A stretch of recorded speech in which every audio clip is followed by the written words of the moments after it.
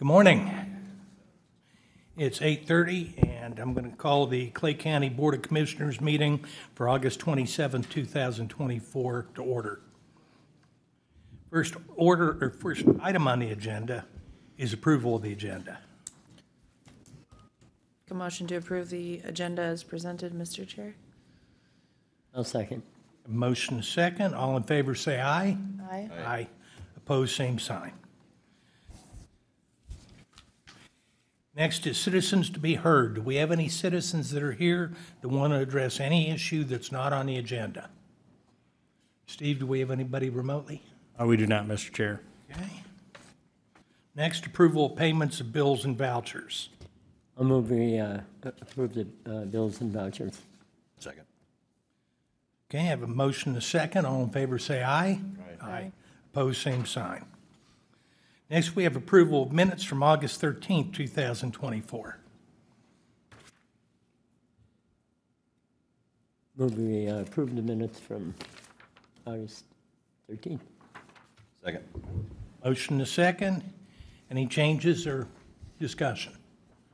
If not, all in favor say aye. Aye. Aye. Opposed, same sign. Okay. Next up, we have Kurt Cannon, Veteran Service Officer, and he is here to, on a request to hire an assistant. Morning, Kurt. Morning, Chair, Commissioners. Uh, Just uh, here today to request approval to start the hiring process to replace uh, the administrative assistant in our office due to retirement. uh, uh, October 17th is her retirement date. That's her anniversary date, so. Any questions for Kurt? I'd entertain a motion. Move to approve. A motion a second.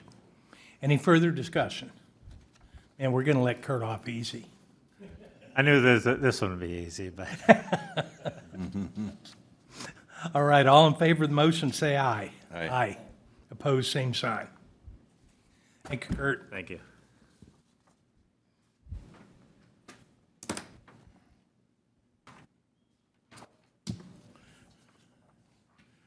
Okay. Next up, and we're a little bit ahead of the schedule here. Budget presentation, Lake Agassiz Regional Library.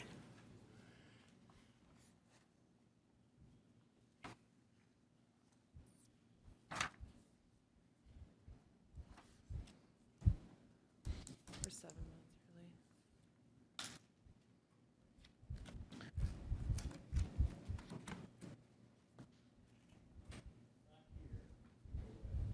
really. No, we're early. Yeah, we're two minutes early.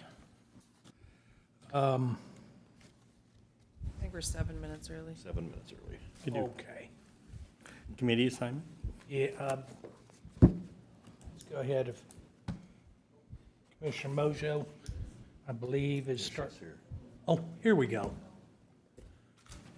Morning, Liz. Come on up and have a seat.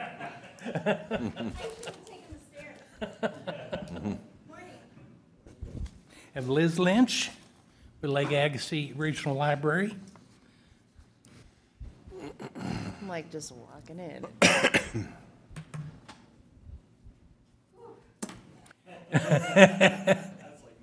We, we move the meeting right along here.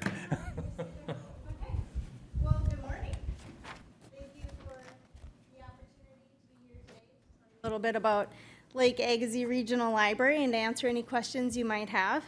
Um, Just as a reminder, Lake Agassiz Regional Library provides public library service in uh, seven counties, and we have 22 locations within those seven counties. Our mission is to enrich lives and strengthen communities. And I'll start out by, sorry, I literally ran up those stairs. No, that's okay. Um, I'll start I- out by giving you an update on Barnesville, Hawley, and Ulen, of course. So, um, when I was here last year, I do believe that I shared that Lake Agassiz Regional Library received a grant for $30,000 from the Otto Bremer Trust.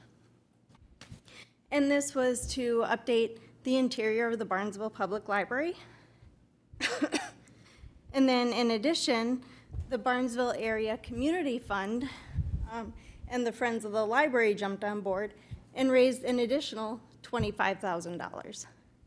And so with those funds, we were able to get new carpet, paint, furnishings, shelving. We're still waiting for a couple of items to arrive, but um, I do have to give a shout out to the Clay County Census Serve program. They were so helpful. They um, removed everything from the library so that we could paint and carpet and then brought everything back in again. And we've used that program a couple of times. So helpful, so appreciative of that service. Um, Also, another bit of news regarding the Barnesville Public Library. We have had um, the branch librarian there, Carol Van Brocklin. She has been there since 2015, and she is now retiring. And so we will be having an open house for her on September 7th from 10 to noon, and everyone is welcome to attend. Um, The business at the Hawley Public Library is going strong, and it is, um, in just the first six months of the year, circulation of the physical materials or the checkout of items is up by 16% and um, over the same time last year. And um, recently, an employee from our headquarters in the lower level of the Moorhead Public Library um, had spent a day at the Hawley Public Library. And um, when she returned from working on this project, she sent this really, really great email about her experience at the Hawley Public Library. And um, she basically said that every computer in the library was in use by adults and children during that entire time. She talked about um, a mother who had a toddler who was playing in a um, with to- age-appropriate toys provided by the library. There were school-aged children with this mother as well who were checking out books. There were kids, a group of kids working on a Where's Waldo scavenger hunt, and the librarian was also helping adult patrons navigate through um, the interlibrary loan service, which is a service that we offer where you can obtain books or materials from anywhere in the state of Minnesota, or really anywhere in the United States by using your local public library. And um, when she returned, she, this was my favorite part of her email. She said, On my drive in and out of Hawley, I saw a total of one person on the street. Yet the library was teeming with life, and in the midst of it all was an enthusiastic, engaging, approachable Melissa who has made the library the hub of the community. And honestly, this is just a day in the life of the Hawley Public Library. So Melissa Larson does a great job. In Ulen, um, Amy Nelson is the link site coordinator. She's known for going above and beyond in that community. I don't know if you know Amy, but she is fantastic. And um, she does such an excellent job of connecting with the schools, the businesses, and different agencies. And the link site is housed in the um, Ulen Community Center. I drove through there the other day and noticed they have received a facelift, and it looks it looks fabulous. Um, but I know that the community of Ulen benefits not only from the services offered by LARL, but really from Amy's ability to connect with that community. So um, that was the Barnesville, Hawley, and Ulen locations. And then, of course, there's the Moorhead Public Library. As far as signatories go, the Moorhead Public Library does fall under the city of Moorhead, but of course, thousands of Clay County residents use the Moorhead Public Library, both residents from inside the city and outside the city. And of course, there's a lot of excitement regarding the new public library. We're so excited that the LARL headquarters will also be in this new community center facility. Um, this is really going to be an amazing resource for the residents of Moorhead and for the surrounding area. With all this excitement in the air, the Moorhead Public Library, the current Moorhead Public Library, is really busier than ever. Um, already this year, they've checked out over a hundred thousand items, which is fabulous, and they've issued over fifteen hundred new library cards to residents. And, um, I work in the lower level of the Moorhead Public Library, and as I walk to my office and from my office, I am always thrilled to see how many people are using that library. Um, regarding the budget, all of you should have a copy of our request. Um, we are asking for a total request from all of the signatories. It's a one point seven seven increase. This increase is simply to maintain current services. The board did choose this lower increase of one point seven seven because we do have healthy reserves right now. Um, The one problem that we are currently dealing with is very low wages for frontline staff. Um, In 2024, a library assistant position, which is a position where you check in items, check out items, shelve materials, help customers, and assist with programming. That position starts at thirteen seventeen per hour. And our branch librarians, who are responsible for operating our locations such as Hawley and Barnesville, start at sixteen nineteen. And um, these employees do a lot for their communities, and they're really serving customers of all ages with all types of needs. We um, are in a position where both hiring and retaining staff is very difficult.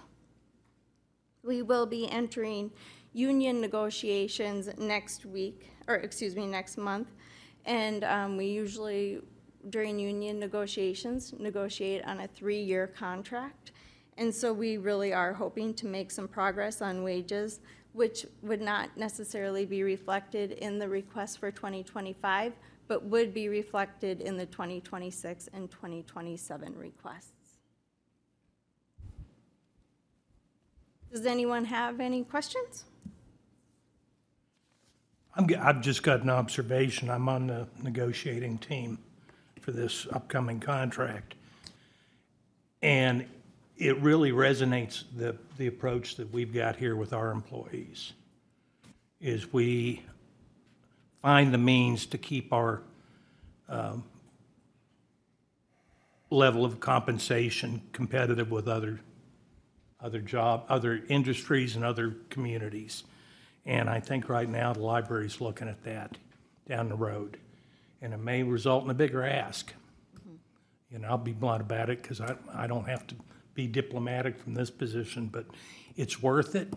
We're moving into a, a, a situation, it's not just the Moorhead Library, this entire county benefits from the services Lake Agassiz. And, um, down the road, it, we, you know, we may be asked, all the participants may be asked to come up with a, a, an ability to respond to the salary issues that we're looking at now. Anybody have any questions? Or, yes, Steve? Mr. Chair, so Liz, you'd mentioned uh, some healthy reserves. Would, uh, from, through the negotiation portion for 2025, would you be anticipating utilizing some of those reserves um, after the negotiations and then, and then in 26 come, come to our? Yes. Okay. Yep. Any other questions? Well, thanks, Liz. We appreciate you running up here for us. Well, um, I am supposed to be training for a relay, um, and apparently I need to do some more training. It Or- took me a a while to catch my breath there, so, Our stairs are always at your disposal. thank you, thank you, I appreciate that.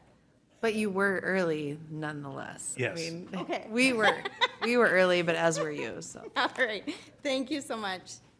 Take care now, Liz. Next up, Quinn Jagger. Jagger. I keep sticking the E in there, man. You got it. Our Social Service Director.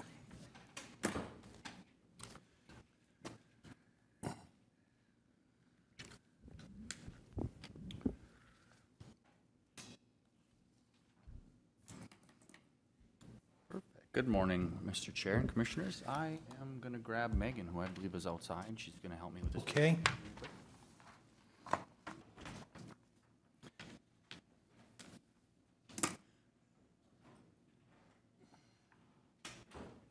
Also have Megan Jensen.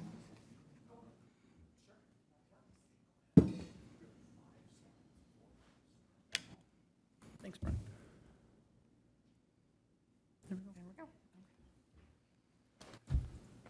Okay, um, we just wanted an opportunity to come here. I know there were some questions about the Family Resource Center a few board meetings back, and I thought it would be a good opportunity for Megan and I to come to board and just give you an update on kind of the progress of where the project is. Um, so I will kick it over to Megan for the presentation. Um, I guess at any point in time, if you have questions, feel free to let us know. Perfect. Well, uh, thank you for the time this morning. I'm Megan Jensen with Creating Community Consulting. I'm co-owner.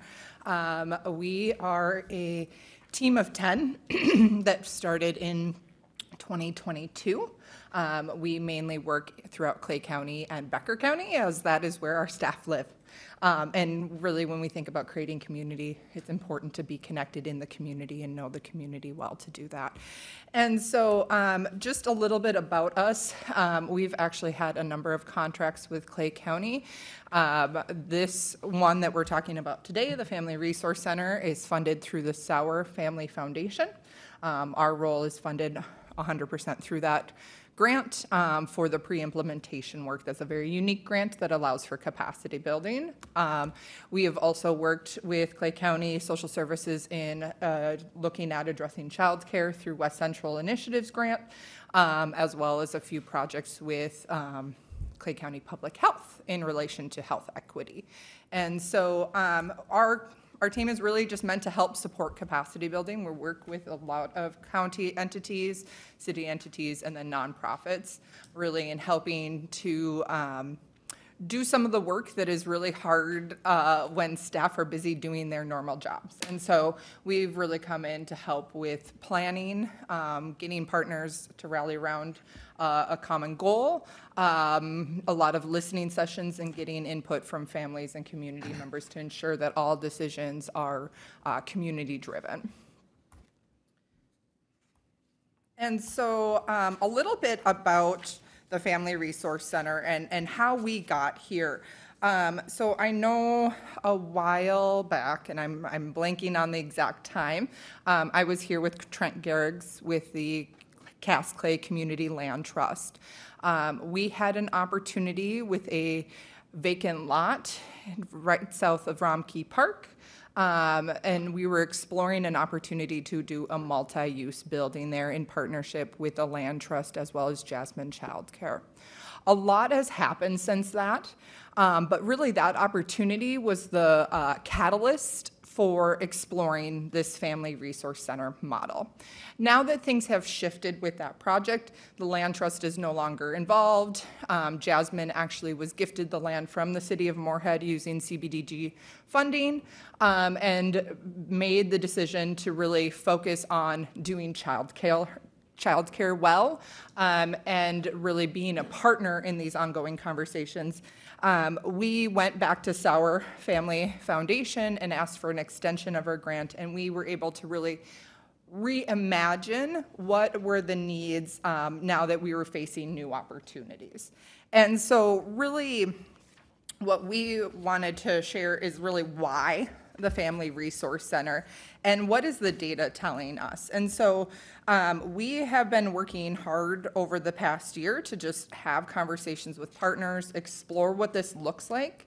Um, we are very excited. The state of Minnesota has put a lot of interest in this model. There's actually a state network of counties that we are meeting with on a monthly basis, so we get to learn from other counties across the state of what works, what doesn't, what have they tried.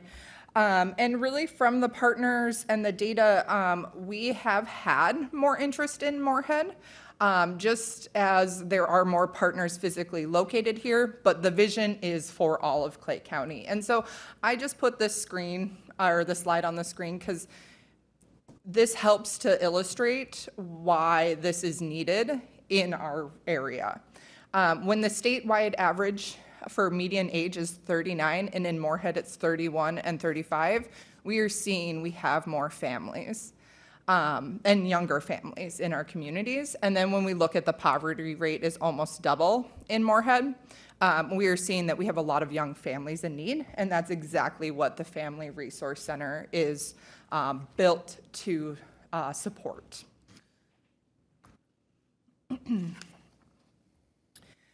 Um, so again, all of this is really based on national research um, through the National Family Strengthening uh, Network.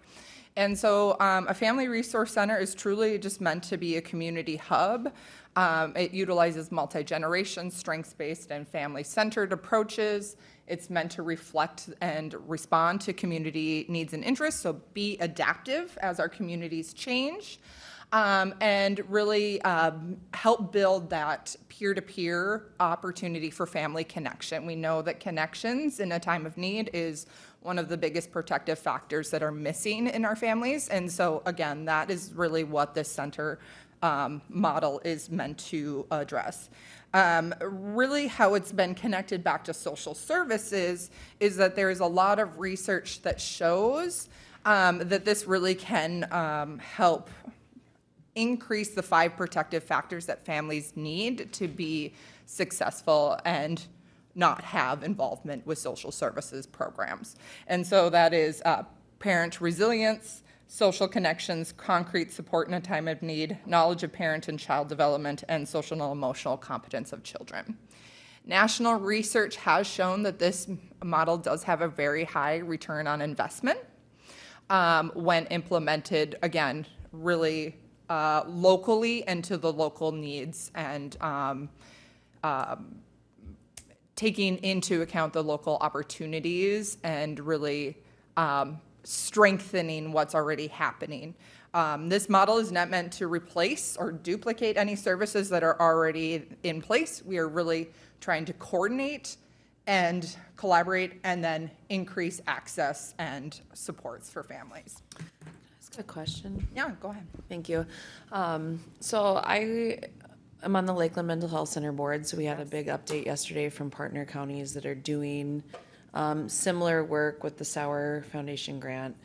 Um, the, the challenge for me in this role versus what I heard with the folks in their role yesterday is Clay County is really unique in the way that we have family service center across the road. And, and as I'm gleaning from what you're talking about, a lot of the need for connections and supports and family care and, and this, this whole family approach, um, what I'm struggling with is a lot of those supports and services are already provided across the road. And so, um, you know, how can you help me grasp um, when you talk about not wanting to reduplicate services, and certainly as we're trying to um, connect with as many folks as possible for the, given the money that we have, Yes. you know, how would that, this model that you're talking about, not exhaust the resources in the community, but then isolate away from what we're intending to have folks bring to the Yeah. center?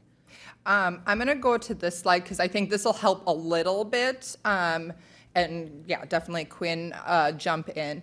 Um, one of the key components is more of that, um, space that allows for families to connect with one another and more of that social aspect. So like the community ed model. Yeah, very, and, and adult basic ed is a partner in this conversation, and we're looking at, and I've got a, a graphic that'll kind of show what we're looking at, because you're exactly right. We do not want to duplicate, we do not want to create just another space that's the same thing, but really, we are seeing a need for specific aspects, and it's more around that social capital building, which is just not naturally going to happen within a space that a social service agency happens. There's that stigma and those barriers um, that families aren't coming here just to hang out and relax. Um, I would also say on the flip side, there's a security issue and staffing um, of just how that space is set up. And so we would definitely be in partnership, but um, looking at where are other welcoming uh, spaces that families want to, are already naturally going to find connection to other families.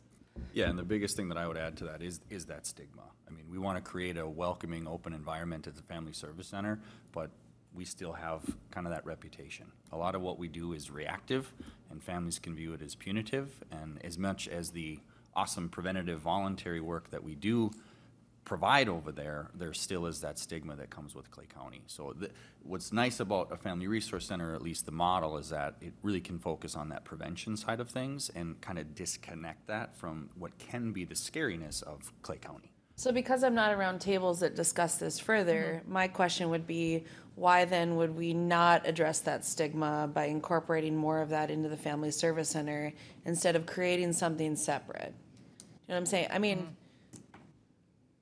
Yeah, and I, I think, I think we'll get to that in a couple more slides, because we have feedback from both Clay County staff and partners, and also kind of the, the vision that we've started.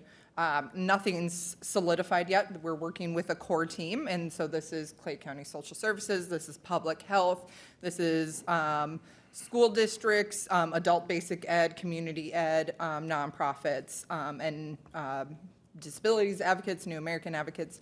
So it is a really diverse group that's helping us really vision what do we think will be the most successful and how do we scale it to appropriately serve all of Clay County. One more thing to add to, a, a large component of a family resource center is even something li- like the logistics, the operating hours. You know, our building is open, you know, till five, we lock the doors at five. The idea behind a family resource center is families that are working all day can access that or utilize that outside of regular business hours. Um, so as you get into the, the logistics of the operations of what something like this could look like, um, even things like operational hours can, So how is that, if- how is that different than what Moorhead is building right now with the community center? How, how is this different than that? Yeah. Um, some counties, it is within the library, and we, we haven't even got to like a physical space yet. We're really working right now on bringing partners together in a collaborative network. What is happening is there's a lot of siloing of resources and services, and then it becomes uh, families presenting in need of housing, right? Well, it's not always just housing that they're they're struggling with. It's a lot of things. Then it's well, go to uh, CAP LP to get connected with housing. Oh, now you need to go to social services. Now you need to go to adult basic ed. And so, really trying to make sure that they there is a better seamless process of getting folks to where they need to go and connected with the resources plus adding uh, capacity through a community navigator that is not tied to eligibility, program eligibility. That is one of the biggest barriers we consistently hear, is that we have a lot of great community helpers um, with a lot of nonprofits, but they're usually tied to specific eligibility of the program in which they're funded through. So if they're tied to SNAP, they can only help those that qualify for SNAP they're tied to housing, they can only help those that qualify for housing. And there's often these little barriers that a family might not quite qualify for that specific program, but they're still in need. And so really adding that community navigator role that can help those families better um, seamlessly access those services that are already existing in our community.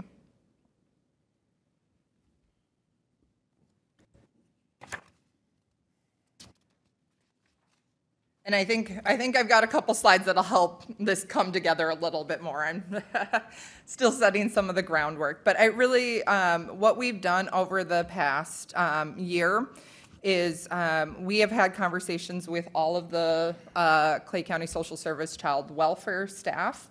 Um, we have presented to a number of Clay County partner providers. Um, I know we were a part of a mental health um, committee meeting. I know we met with um, a lot of the social service program providers. Um, We've brought this to um, groups like Inclusive Moorhead, um, and then we had a really in-depth conversation with the CAPLP leadership team, knowing that what we're talking about really fits in line with a lot of the work that they are doing and wanting to grow towards.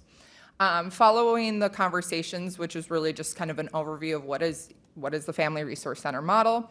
Um, we actually got all 15 Clay County welfare staff um, uh, certified along with 15 uh, community partners in the standards of quality. Again, just trying to help set a really solid framework so that we can all be speaking the same language around quality when we're talking about family strengthening services. Um, from there, we did a quality standards assessment with this uh, Clay County staff, um, a partner assessment with the partners that went through the standards training, and then did um, some initial family assessments.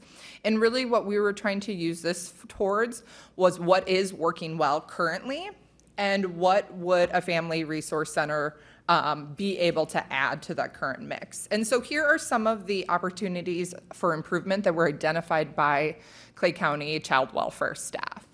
So um, things that really, what we would see are maybe currently not able to happen within the physical space or because of the um, more reactionary um, nature of the programming that is currently being provided by um, Clay County Social Services. And so really thinking about how do we enhance youth and family involvement in programming, uh, stronger diversification of community involvement. Again, this really leans into our network approach.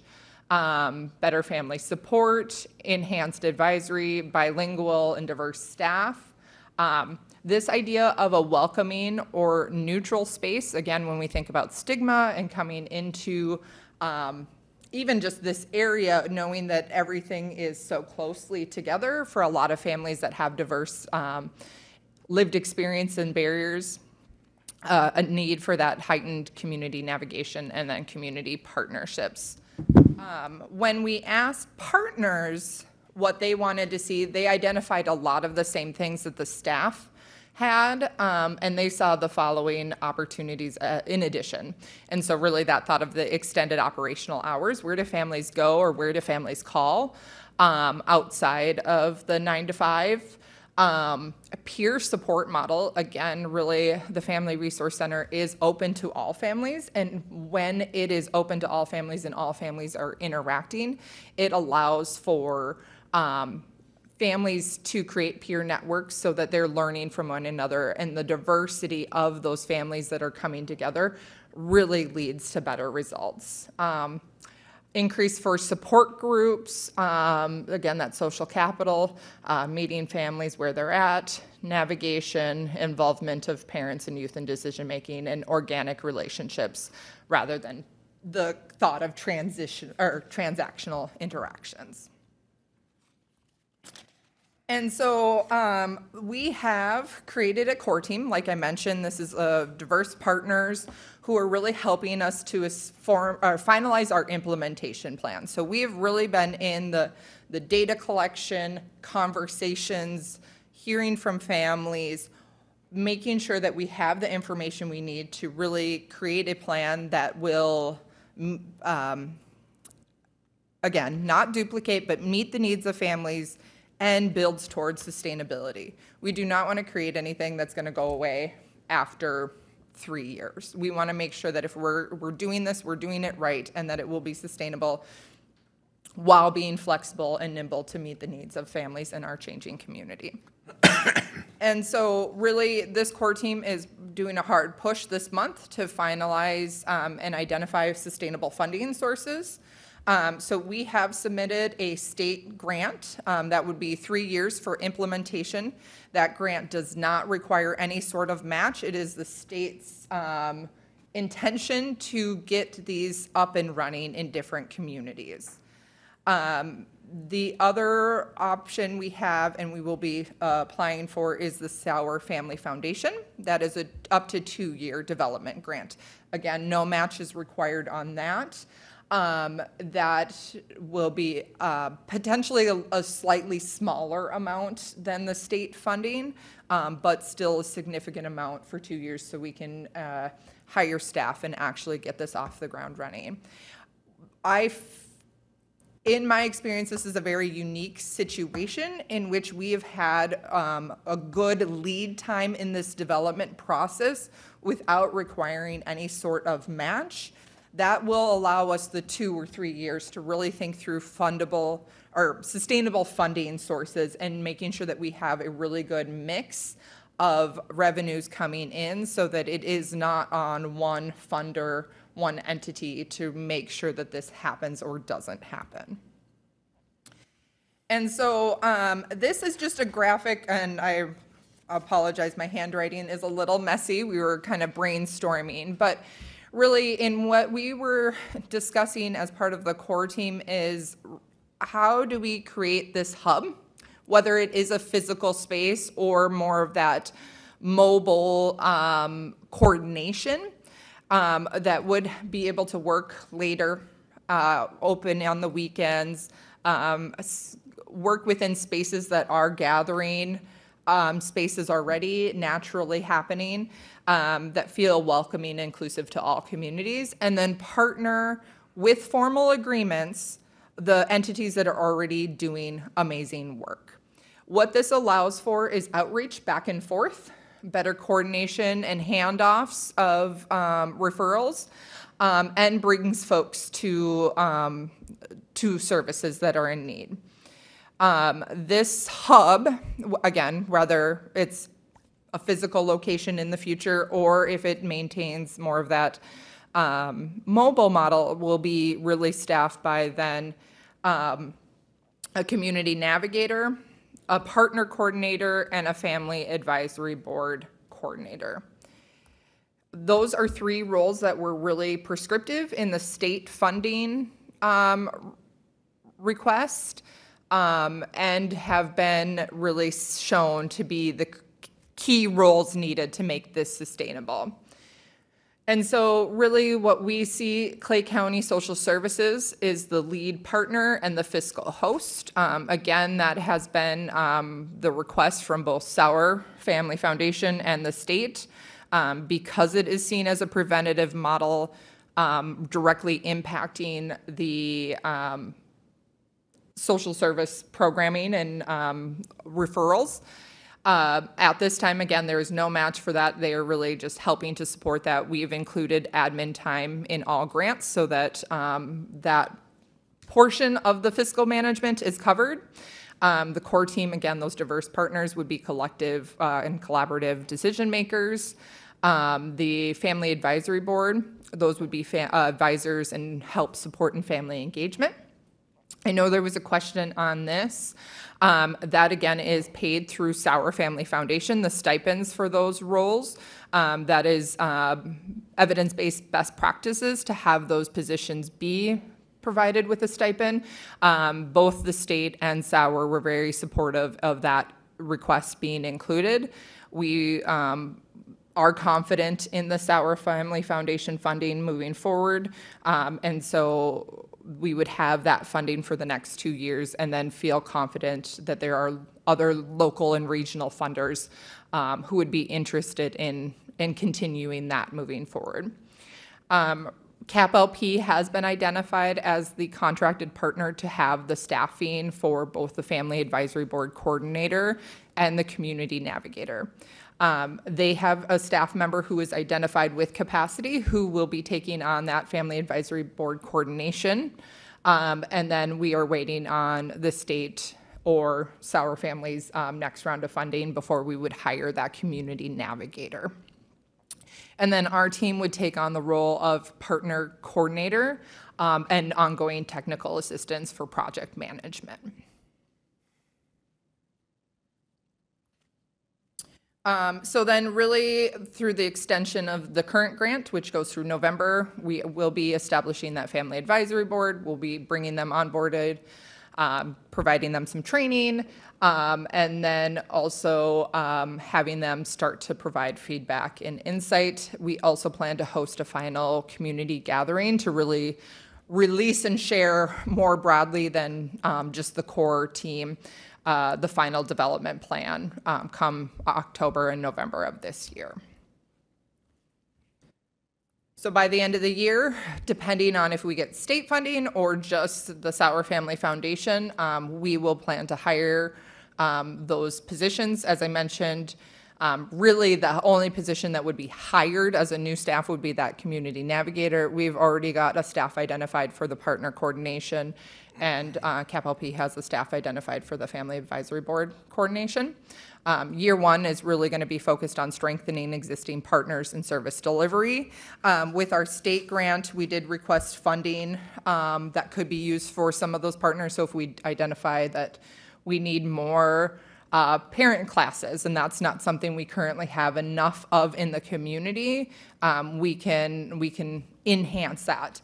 Um, but really, the goal is that we're better coordinating so that those programs are more utilized by the families that need it, um, and that we're really thinking through where are these happening and how can we remove all of the barriers through partnership for um, existing programs. Year two and three would be to establish that formal FRC um, with consistent navigation services in line with family needs, including non-traditional hours, which right now is is a really big barrier and non-existent in cur- a lot of current navigation services. Uh, long-term plans then would be to continue to utilize that core team and the family advisory board to um, maintain operations and continuous improvement, um, provide that relationship-based navigation services, um, continue to really hit it hard with community engagement and feedback, and then make sure that we're expanding outreach and navigation to all Clay County through that established partnership. Anything I missed that? Any questions for us, uh, Mr. Chair, Commissioners? Any questions?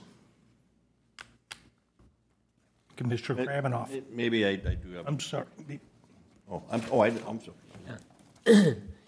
So I'll just uh, make a cou- a couple of comments as I've been in, what, three meetings now, I believe, uh, as part of the, uh, the, the core team. Uh, The one thing I'm really picking up on uh, that has made me um, quite comfortable with this idea um, is the fact, uh, uh, as we talk about um, going to, toward a community-based pre- prevention model.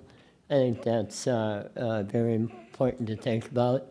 The other thing is, as we meet in that group, when I hear the enthusiasm with CAPLP, uh, in particular, which I'm active with, uh, wanting to act as a navigator, wanting this community um, um, type um, way of getting resources out, let's put it that way. Um, and, and when we got away from the physical model right now into a mobile model where we've identified different places, uh, in particular right now, uh, in Moorhead to start out, but yet at the same time as we reach the Hawley, Barnesville, um, I, I just see a continuum of community, uh, that really could separate itself from what we're doing right here uh, at the uh, service center. Uh, The other thing that puts me at ease, I guess, is the fact that it's all subject to state grants and Sauer grants. Uh, There's no expectation from us uh, at this point, um, and maybe there, uh, maybe once we see, if it goes forward, see some successes, you know, it will find those uh, local people to uh, bring that local share. But um, that can come in different, a lot of different ways other than just a levy from here. So Yeah, anyway, we're, I'm, I've become open to this, and, and I guess in my last three meetings, I feel like I've uh, uh, see that enthusiasm. And, and again, to the school districts, I mean, there's just, it's more than CAP LP, it's a, it's a large group, so, thank you. In your, Mr. thank you. in your uh, comments regarding the establishing the Family Advisory Board, uh, you, you made the comment that you would train them.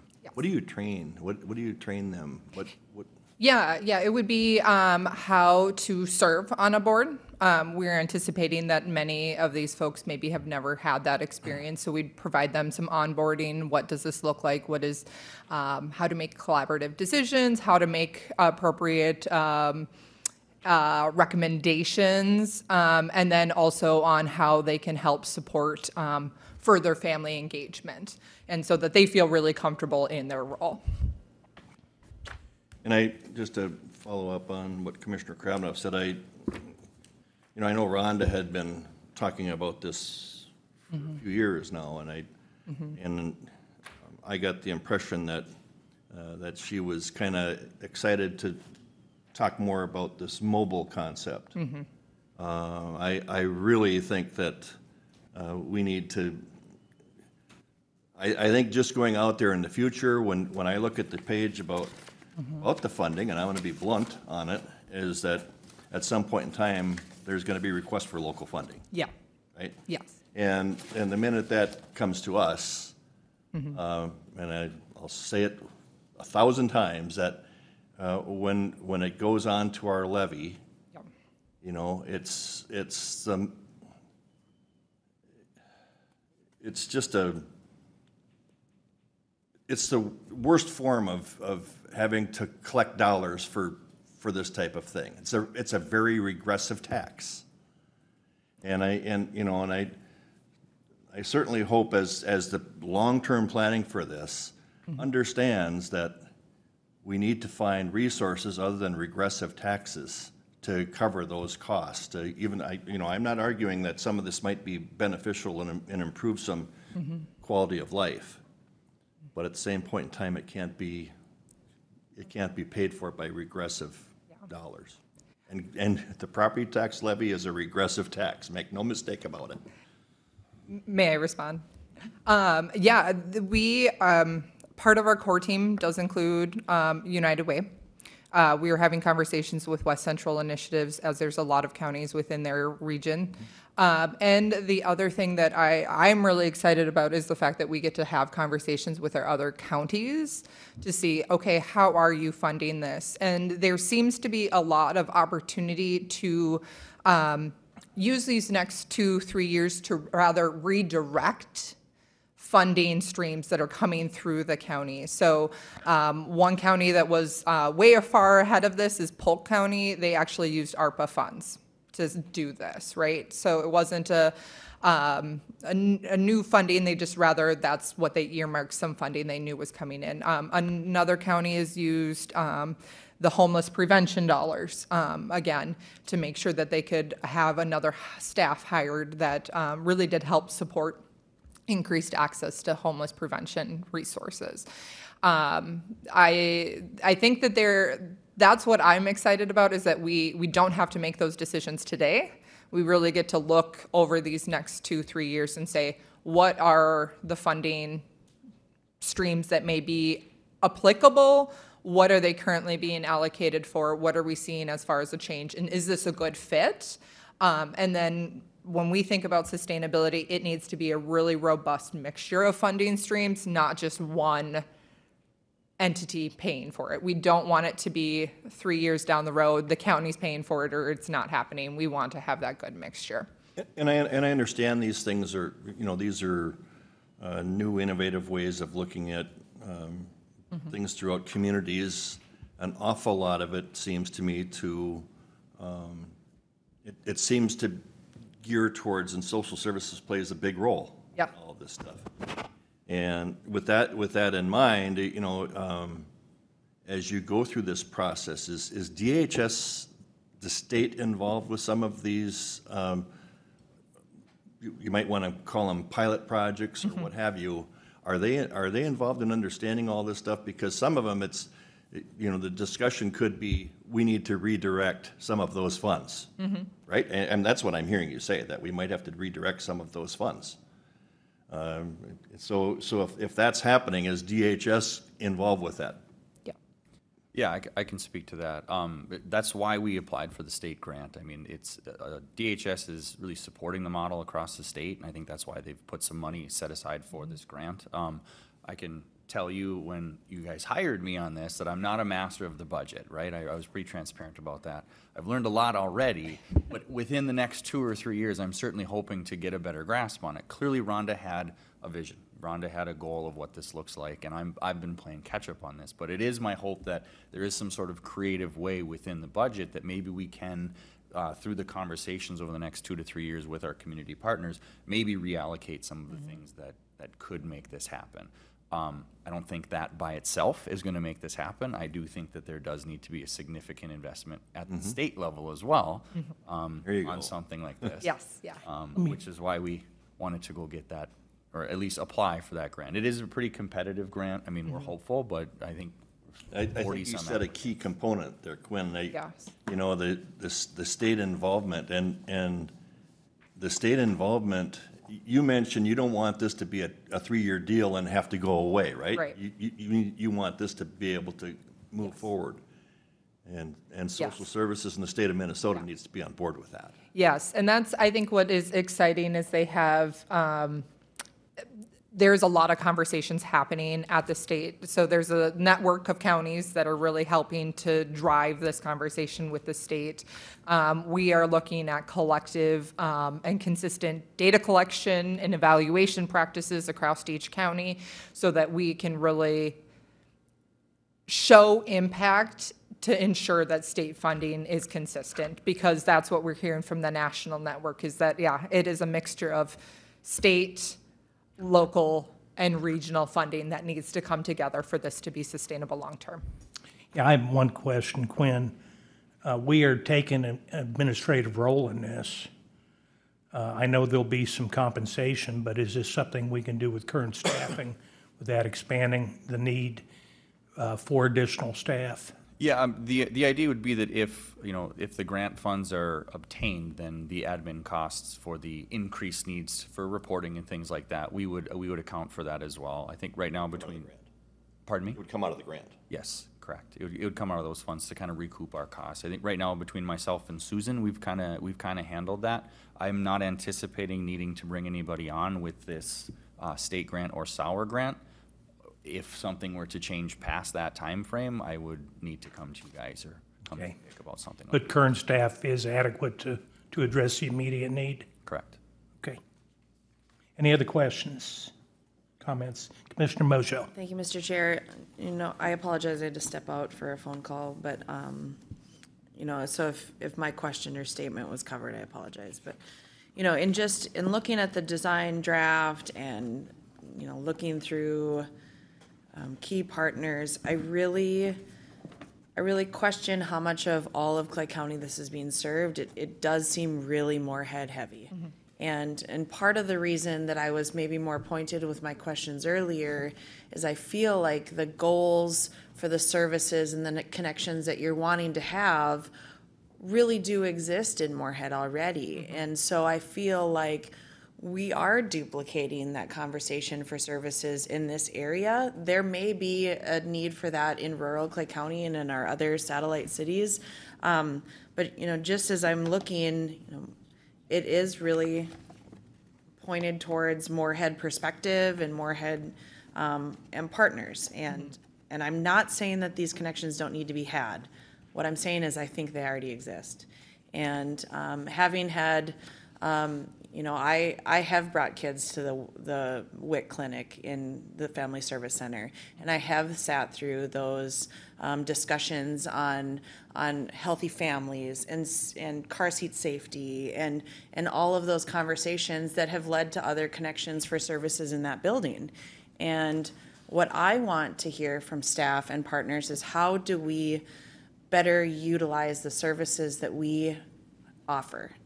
Not reduplicate that. So if I'm hearing that there need to be additional hours for families, which I get and I understand, does that need to be in another building? somewhere else in the county, or is that something that we can work through after our, I don't know.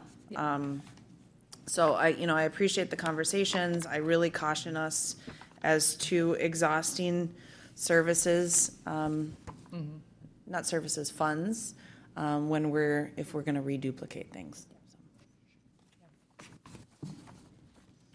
Any other comments, questions? Anything closing, or have we covered it? Oh, I, I appreciate the questions. It's all good things for me to, to, to consider and take into mind and continue to advocate at the, at the MACSSA level too for the statewide participation in this, in this entire project. And I, I, I do appreciate that this was on the agenda and having an opportunity to get an update on it. And I, you know, I, you know, I think there's uh, both some optimism and skepticism uh, built in here on this and, and uh, through, hopefully through, through dialogue and some of the things that Commissioner Mongeau expressed and some of the things that Commissioner Krabbenhoft expressed, we can get to the better end of both of those uh, as we move forward, so. Just one follow-up. Thank you. I, I know in the marketing messaging that's been going on as you gear towards those September, October meetings, there was several updates that I saw that said Clay County is building. Um, please provide be- feedback on, on the building that Clay County is building. That can't, I mean, then people see that and come to us, oh, Clay County, what are you building? Well, we are building a withdrawal management and a, and a new DMV. And so as you make those posts to the community, be very careful, because otherwise then it just assumes that this board has taken action, which we haven't. What, one thing I'd like to speak to at our last core meeting, we actually discussed kind of what branding and the logo would look like. I Mocked up a couple different logos and things like that. And one of them said Clay County Family Resource Center. There was a significant amount of dialogue about we mm-hmm. need to remove the name, Clay County. If, if part of the rationale for this is the stigma that comes with the mm-hmm. Family Service Center that we need to work on, why would we put the name Clay County in? I, So we- I want to hear more about this stigma about the Family Service Center. I, you know, I, I, I- not today, I, but, you know, we don't need to do it today, but I need to hear more about that. Okay. Um, you know, if- if we have a five-story building over there that's housed with hundred and twenty-some social s- service workers, and we got a bad stigma going on, mm-hmm. we need to, we need to figure that out. Mm-hmm. Because we're supposed to be there to provide services. Mm-hmm. And have, providing services and having a bad stigma, tho- those two don't sound good together to me. So I want to learn more about that. Okay. Thank you. Thank you. Okay, thank you very much.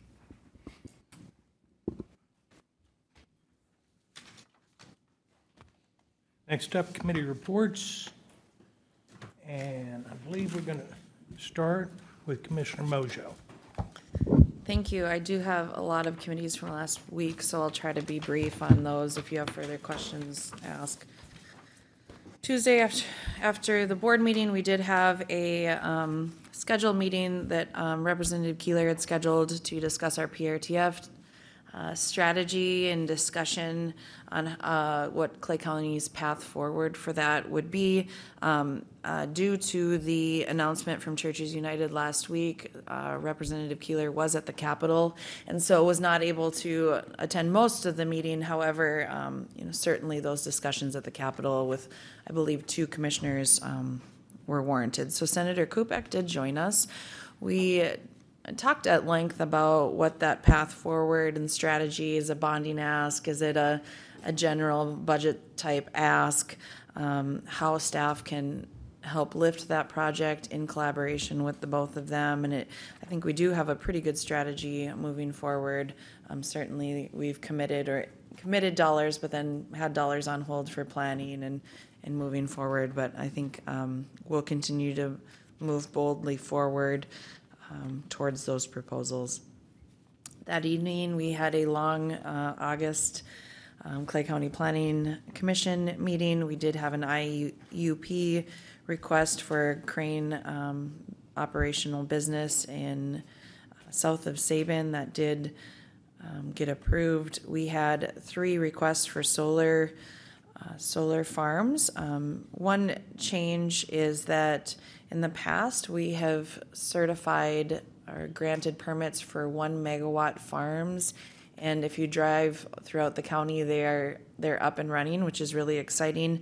Um, We approved one megawatt farm application and two five megawatt farms. And so the difference, if you recall, we talked when we created the ordinance is that Clay County utilizes revenues from the taxes generated from the um, wind towers. And anything, any solar farm that is one megawatt or under does not um, generate that tax that filters down into, to the counties. So the big change now is with two five megawatt farms, we will start the ability to collect on, on that. And um, uh, we did not have any community input that was negative towards that. So we're really excited about that opportunity. We did then have a application for an IUP for a batch plant in southeastern Clay County. We did have a long, long discussion on that. That project specifically would be um, a two to three week project that would um, send all of the asphalt into a project for Richland County. Um, there was a lot of concern from the planning commission on the deterioration towards the road, particularly if it wasn't generating, um, utilizing material from that plant. We did, uh, find out that it would come from another Clay County plant, so, or another Clay County pit, so there would be some gravel tax generation on that, but, but really, um, when you're looking at the benefit to the Clay County, to Clay County, and then the detriment to the road, particularly to the haul route throughout, um, pretty, uh, several residences, we did deny that permit. I did have discussion with the project manager following that meeting uh, to get creative to see if there was a better fit for a location on a batch plant, either in Clay County or if there's something in uh, Wilkin County. So I think they are working with a Wilkin County um, uh, pit to see if that would make sense because it, that would that would basically run two trucks or a truck every two minutes, Ezra. A truck every two minutes out. That's not even accounting for the material coming in or the the uh, stuff coming back. So you'd have a semi every two minutes on County Road Two, all the way across Clay County um, to ninety-four, so, or twenty-nine, sorry, so we did deny that permit. Then we, the next day, I had the Red River Basin Commission Joint Powers Committee meeting. We did have an update from Eric Jones from Houston on the distributed detention update projects throughout the basin, and then had an update on DNR mapping from um, Andrew Graham from DNR. It's always a really good uh, meeting to discuss projects throughout the entire basin. I attended the Solid Waste Budget Committee meeting, or it wasn't, I don't know if it's a committee, but it was a subcommittee, I guess, with Rev, with Commissioner Campbell, myself, uh, Steve, and then Corey from Solid Waste, just on the budget, grasping a hold of a couple different items that we needed clarification on before the full request comes forward. The next day, I attended the SWAC committee meeting. We had an update on um, recycling and program updates, landfill updates, and then Commissioner Campbell gave an update on Prairie Lakes. The next day, or that same day rather, right after the meeting, we had a, um, annually, we review the contract for the Resource Recovery Center with the City of Moorhead representatives in Clay County.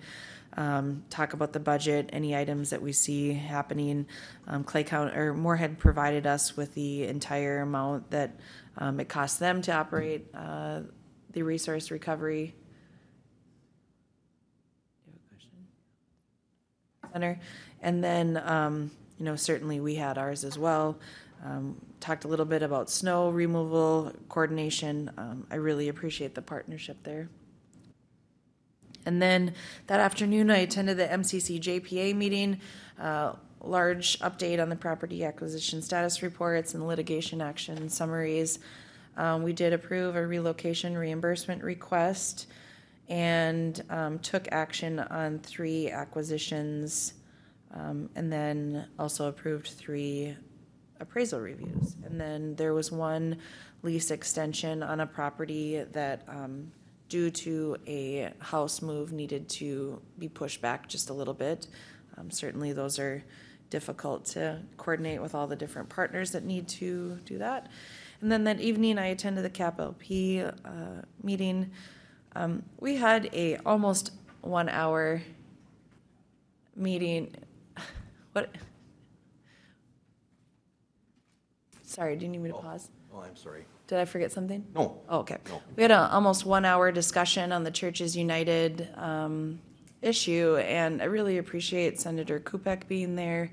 It was a really honest and raw conversation about how, of- how all of us who um, provide services in so many different ways mitigate that issue and, and how we all have boards to respond to and auditors to respond to and, and who is best to help um, help in a capacity. Lakes and Prairies provides an enormous amount of supports to at-risk families and individuals And um, they really aren't in a position to um, or have the staff capacity rather to shift and take on such a large project. So they'll just continue to help in the ways that they can. Senator Kupec was really appreciative of all the different uh, representatives and, and organizations that do such hard work. Um, but I had talked to um, Steve earlier, who had talked to Quinn, and and there's there's about two hundred fifty thousand dollars that Clay County. That's not the total, but Clay County is contracted with churches to provide housing supports, and um, there needs to be um, some documentation that comes with that. Um, so um, there's about two hundred fifty thousand dollars in revenues that churches could utilize from Clay County through that contract through DHS.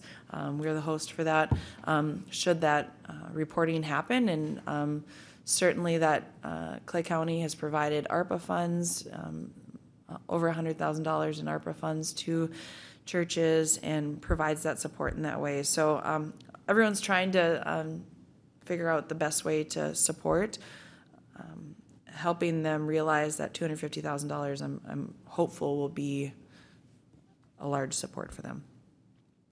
And then we did, um, th- there are several openings on that. Our chair for that board has, um, been hired by CAPLP, which is an exciting, um, continuation of the mission, so we will, um, have a couple board openings there.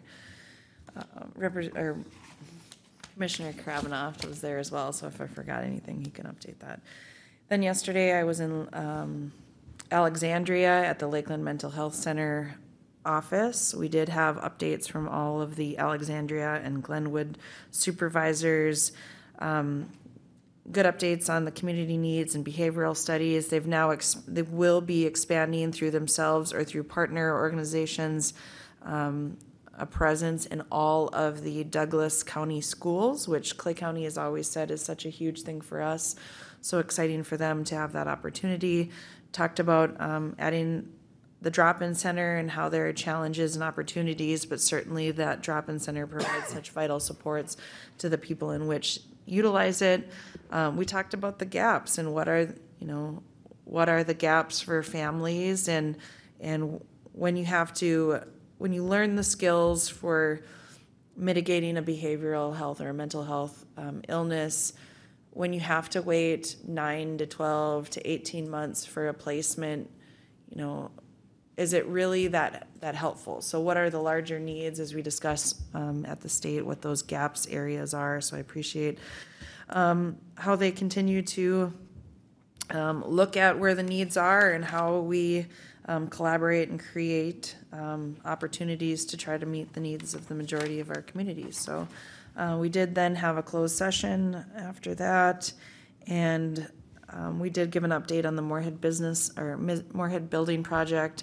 October first, they won't be moving into the new um, renovated site, and they are um, on time and still have eighty thousand dollars remaining in a contingency. So as you know, that's always good, and we will move into negoti- contract negotiations soon. And that concludes my reports. Thank you. Commissioner Campbell? Thank you. On August 20th, I sat in for Commissioner Gross in the PIC meeting, and I'm going to defer that report to our board chair, who was also there. I'm- I may have some additional commentary to his report, but we'll see how how that goes. And then on Wednesday, uh, as Commissioner Mongeau mentioned, we did have a subcommittee meeting with solid waste to, um, to go over uh, some budget issues. Uh, There was, uh, Corey had mentioned that he might want to bring something up along with SWAC, and we were a little bit concerned about um, where we were with, with the budgeting process at that point in time. So we had a, a significant conversation about the budget, which raised some additional questions. And then, um, at which we'll, we're, we're meeting again today on that. Uh, As a matter of fact, Corey had originally intended to uh, present his budget to this board today, and, and we've asked that to, to go- back a week, I believe it is. And we're gonna have, we're gonna fine tune that uh, so that we, we know what we're gonna be requesting uh, coming up here. Uh, Then on the, the 22nd, then, we did have the um, SWAC meeting, the Solid Waste Advisory Committee meeting. Um, There's, we continue, Shannon uh, Thompson gave a nice report on the recycling programs that we have there. And we did talk about, um, you know, the lithium batteries just seems to be a conversation and the education, the importance of the ed- education involved with um, the proper way to dispose of those. Uh, Corey gave updates on both the landfill and uh, landfill activities and the overall solid waste activities. Um, Is, may, what's been reported to this board in the past, uh, we are still having issues with the overhead doors in that facility. And we're at the point now where we're basically saying we need to have new doors installed because there just doesn't seem to be the appropriate fix. And so we're, um, Corey is working on that, and of course, you get into those large garage doors, and there can be an extreme amount of waiting time. And we're concerned about having those properly installed and working properly before winter sets in, so that, that's gonna be a challenge in itself. And then as, in terms of, um, the responsibility there, that's gonna be an, uh, an ongoing, you know, there's always somebody, uh, everybody seems to point their fingers at somebody else as being the problem, and ultimately, it should not be Clay County. That's the way I'll put it. Um, That same day, then, we also had a uh, Moore Clay County Joint Powers Authority Board meeting. That's in regards to the diversion project. Commissioner Mongeau gave a, a good report on that. I really don't have anything to add on that at this point in time. And then at, at uh, 3:30 that same day, we also had our Diversion Board of Authority meeting. At that one, we get, we have our uh, usual updates, uh, several updates on, on um, issues. And one of the, we had two closed sessions, and out of those closed sessions, one of the items that we, uh, that the board did take action on was the, um, an employment uh, agreement, term- termination agreement with the former executive director, Joel Paulsen. And it basically uh, dealt with an agreement based on the amount of um, available uh, time he had remaining for vacation and sick leave and that type of thing. So that, that was a process that went through, and that, uh, both parties have signed that agreement, and that should put an end to that discussion. Um, Then uh, yesterday morning, I attended the West Central Regional Water District meeting in Halstad, and I want to thank Ezra for uh, joining in and kind of keeping update, up to date on what's going to be going on. I'm, I'm- the assumption is that he will be taking over that role on behalf of the county in, in January. And I want to thank uh, Commissioner Krabbenhoft for also being there, kind of taking the place of Frank, Commissioner Gross for the day to also, and I think you probably were even enlightened on some of the stuff that goes on there. Uh, The, the big thing that came out of that, you know, and of course, we're, we're really close to the filing with the district court for, for- there's a, there's going to be a uh, virtual hearing on September 13th, which I plan on attending on behalf of Clay County members. And that's just to kind of get the process going where, where the, hopefully the court will establish the first public hearing part of this whole uh, um, concept that goes on. And, and I also want to mention too, I want to thank um, Don for, for being there as well on behalf of Clay County. Last time he attended virtually, but this time he was able to be there in person. Don, um, and I, and I do want to mention that, uh, boy, I you, uh, Don has really kind of put both feet in right away because he's already uh, been in contact with Cent- West Central Initiative on uh, some, some additional funding opportunities that we have in this, this whole setup process. So I was really impressed with what he's, uh, his knowledge about the- these different agencies and how they can be helpful. And uh, so I was, I was quite impressed with, with, with that. Uh, I did, one of the things that I did bring up is, when, in the court filing, it establishes, we're asking the court to establish the board, and it's by individual and by each county. And one of the questions that I, that I had was, well, okay, now, eh, if the court has to appoint these individuals, what's that process gonna be moving forward? Are we gonna have, it- like, for example, uh, Commissioner Gross is on there right now.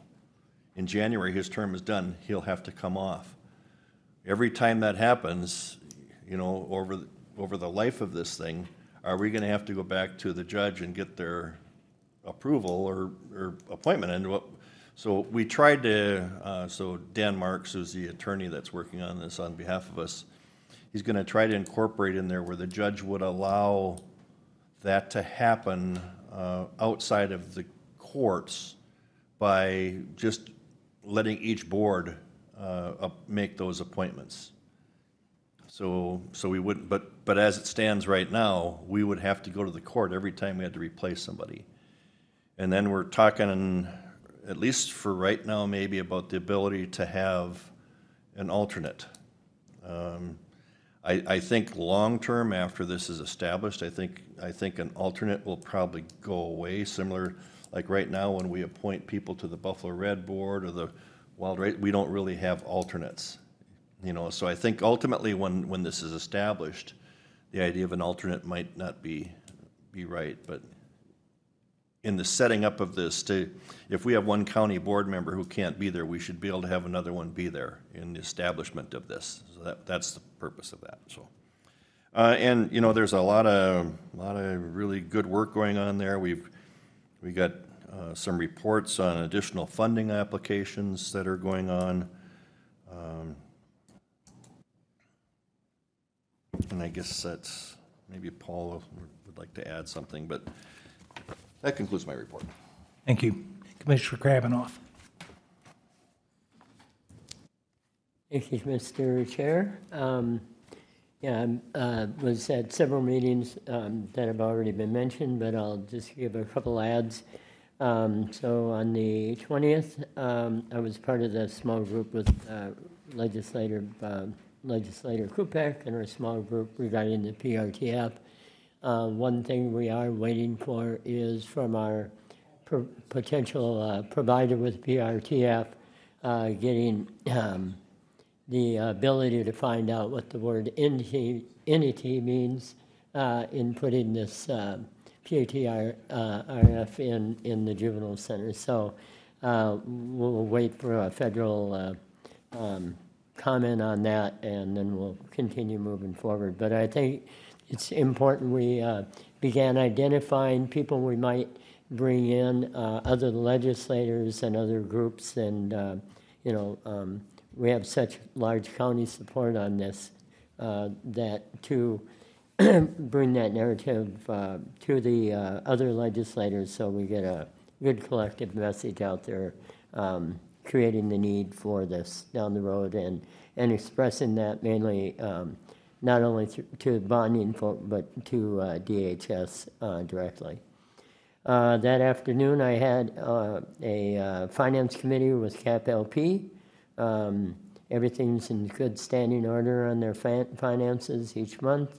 Uh, They have good cash flow, been receiving sizable grants to keep their operations running smoothly. On the 21st, I I also, through the uh, Stewart Cultural Society, had a finance committee meeting, uh, two parts. Uh, We received our annual audit report from Widmer Roel, went down that through de- full detail. Everything's good standing. Uh, A couple minor uh, concerns in the audit only, uh, that really can't be overcome. Uh, And that's besides the staff being able to look at all the, um, in handling the checks and, and those type things, oversight. But again, that's something that's brought up every annual report. So um, no real concerns there. We went through our July financials, and um, we're at, in very good shape. We're in that time of the year when admissions are high and we've received our grants. A lot of gift sales are at all-time high, so cash flow uh, with the uh, um, uh, uh, HCS is very, uh, very good at this time. Uh, The next day, Thursday, uh, uh, uh, we had another FRC core team meeting.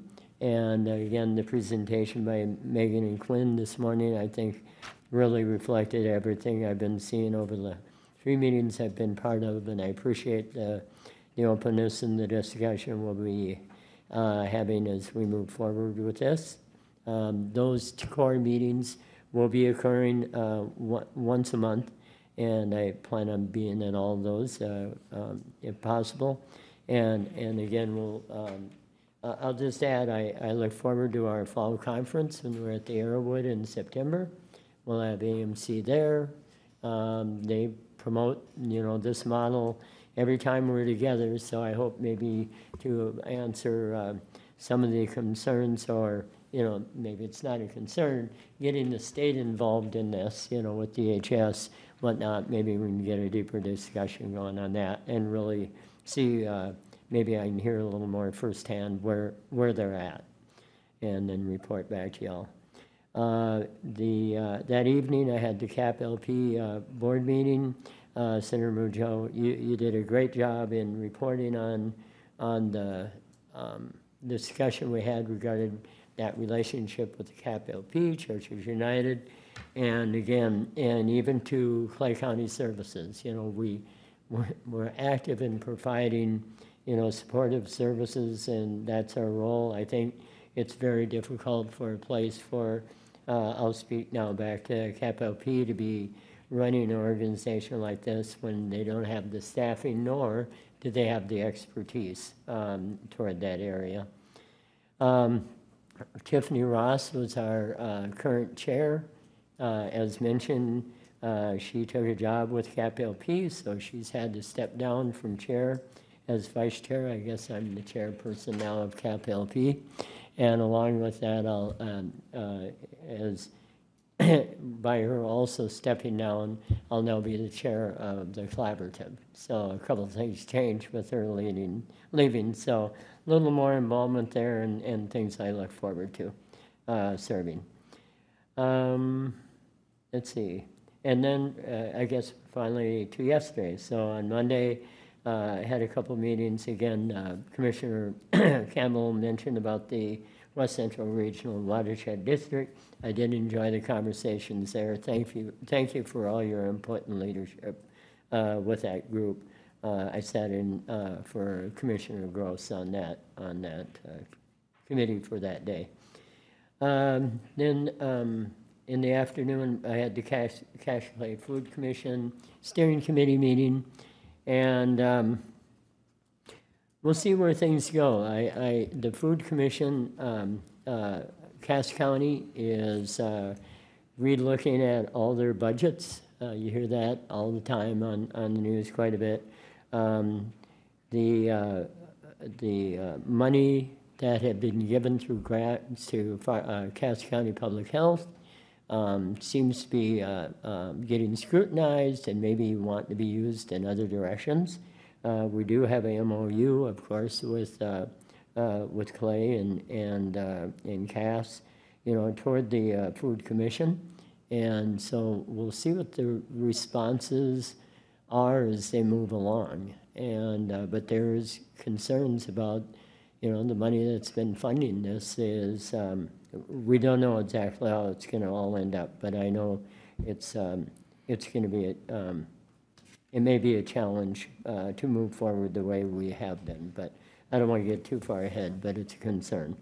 Um, With that, uh, we will be having um, our Food Commission meeting, uh, which we have new, two new fire com- commission, or uh, uh, Commissioner Strand will be coming on, and then uh, Commissioner Amy, um, gosh, um, uh, Commissioner from West Fargo, I'm gapping out the last name. But anyway, two new uh, commissioners coming on the Food Commission Board.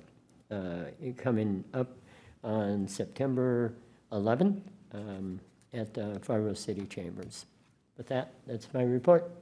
Thank you. Mr. Chair, I just do have one follow-up. Commissioner Mongeau? Thank you. Uh, Last week after the SWAC committee meeting, we did, um, I was asked by um, staff to look at a field access approach that was next to our new DMV facility. It was identified that that had been substantially changed and did then eliminate the access for that farmer um, to get his crop off or their crop off. Uh, So Commissioner Campbell and I have been working with staff on um, getting that back, built back to the access in which it was. So there uh, will likely be a slight change um, from the contingency requested from this board to do that. But um, as stands, um, there's a corn crop in there and there's no way to access it. Thank you. Okay, Thank you. Um, Last Tuesday, the 20th, uh, I attended the PIC meeting. Um, Quinn Jagger uh, from, um, had an overlap. He, he's going to request involving a, an intake employee that's been there 35 years, was it, Kevin? Think 31 years, I think. 31 years, huge amount of institutional knowledge, and he wants whoever her replacement is going to be upon retirement to have an overlap period where um, can bring up her, the person who's taking her position, bring her uh, on board. So that'll be coming to the commission here shortly. And then Darren Brook discussed a UKG system uh, for recruiting and onboarding that will make life a lot simpler for our department directors, for everybody involved in a hiring, where you'll have one system that is uniform and, and uh, effective, and that'll be coming to the, to the agenda in the near future as well.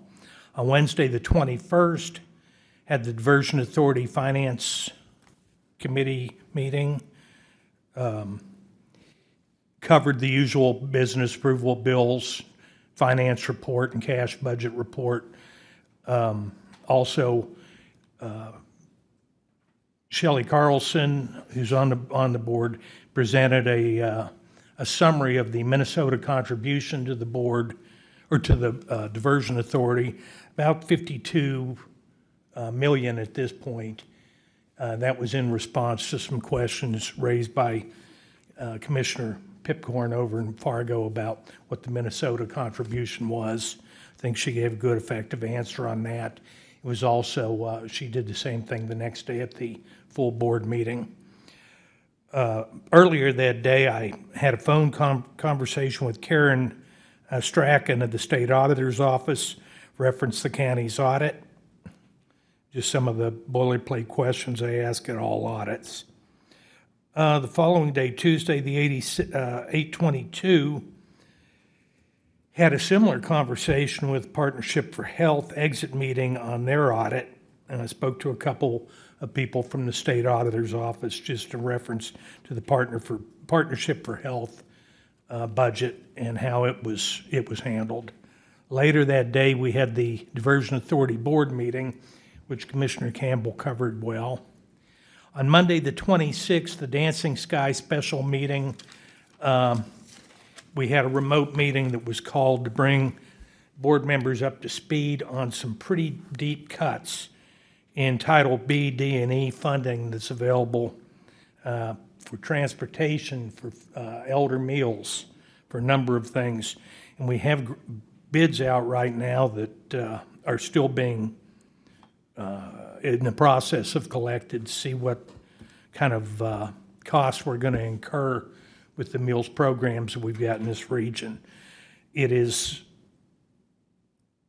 potentially, it's going to be a very hard impact on our seniors in the state with the, the cutbacks in the programs that have been identified so far. But uh, they provided us with some information, some which can't be discussed right now because it's involving bids. And we will have a November meeting where hopefully we can close some of that out. And that completes my report. Steve? Uh, Thank you, Mr. Chair. Last uh, Tuesday, participated in the PIC meeting that's been well covered. Um, Also participated in the PRTF uh, discussion with Senator Kupec and Representative Keelers and members of our board. Uh, Again, uh, appreciate, uh, appreciate the insight coming together to kind of, as we've shifted here, our, our plan a little bit to, to see that we still have that support. Uh, That afternoon, talked to uh, Klein McCarthy in regards to the pre-design uh, for, uh, for a non-secure uh, facility and potential remodel of the existing non-secure facility for our PRTF. Again, I'll probably wait to bring that forward until we hear from, hear from Mr. Summers from Solutions on, on whether that building has to be a standalone or not. Um, That afternoon, uh, or morning, also met with uh, Quinn and Commissioner Krabbenhoft in regards to a s- series of different issues. Again, just wanted to, uh, I think, thank this board uh, for the efforts that they've put uh, they, in, in looking at solutions and discussing Churches United. I know that uh, you you view it as a value of committee, uh, our value of this community, uh, and you have many community assignments that, uh, that touch, uh, touch that, uh, that building. So, uh, solid waste uh, budget discussion that's been well, well addressed on the 21st. On the 22nd, participated in the SWAC meeting, and then the subsequent meeting uh, for the annual contract review and, and annual budget review with the city of Moorhead for the resource recovery facility. Um, Continue on with uh, having several NACO leadership sessions, virtual sessions last week. Uh, Participated in the MCC JPA meeting, which has been uh, well discussed. Uh, Had additional conversations with Quinn uh, that afternoon in regards to Churches United. Uh, With the 22nd, um, had a solid waste budget meeting, uh, or budget discussion, uh, follow-up with Lori and Corey for our meeting this morning. Um, 23rd, uh, met with Kimberly from the Recorder's Office. Just talked about maybe some future, future legal advice. Uh, She currently uses a, uh, an attorney who has notified her that he will be retiring uh, here in the fu- near future. Uh, And while it doesn't uh, take a, a a number of cases per year, uh, there is a need for, to fill that void. Um, Just a couple other things, just to note, the empty pesticide containers are being collected at the landfill this week, 8:30 to 4. Uh, And so uh, please participate in that uh, if possible. Um, I, just a note, yes, yesterday or last night, the, just a, a note, our communications department continues to provide updates that our DMV is going to be located at the Moorhead Center Mall until our, our DMV is, is, uh, new buildings completed, which we are tentatively have as, uh, October twenty-first. Uh, I, our communications group is, uh, put almost weekly updates, but there continues to be questions, and I would assume with the city of Moorhead now vacating uh, to move into uh, the former US Bank while their building is remodeled, uh, there may be more questions. And so we'll continue to try to keep up to date. Uh, The last item I just wanted to bring forward is uh, the Lands Committee. Matt is looking to bring forward a meeting on September 10th, I believe, after our board meeting. Uh, Commissioner Gross is, is a part of that. That was is Lands Committee is not something that meets on a routine basis, and so I was just reaching out to the board for their thoughts on adding a second commissioner uh, to that meeting uh, in a couple weeks. I believe I'm, I, we did discuss and, and I'm going to attend that meeting. Okay, all right. I'm on that committee as well. All right, uh, I believe that concludes my report. Hey, Brian? Darren? Sarah? Well, everybody's quiet. Okay. Well, if there isn't any other additional business, we'll adjourn.